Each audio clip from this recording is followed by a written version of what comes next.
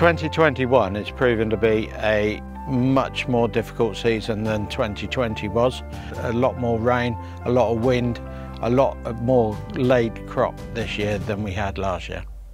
And we are having to follow the ground much closer and the HDX is giving us the flexibility to be able to follow the undulations in the ground much closer, whereas a fixed header we would be scraping the ground one side and taking heads off the other.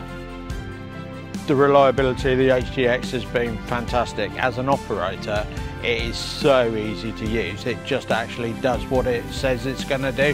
All combines are limited to the percentage of loss or grain quality that you're going to want from it. But the HDX does give us the potential to use all of the performance from the S Combine. We first went to tracks for uh, mainly for header stabilisation, but with the HDX we're finding that the tracks are not so important because the header is very stable itself, but we continue to run tracks both for road width and for getting about later on in the year when we're combining maize and conditions aren't so good. I think the 40 foot and the S790 is a really good match.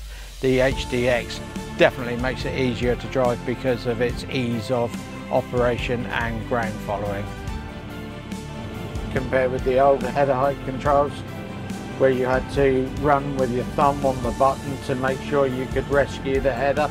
With the HDX, you can drive comfortably and it will rescue you.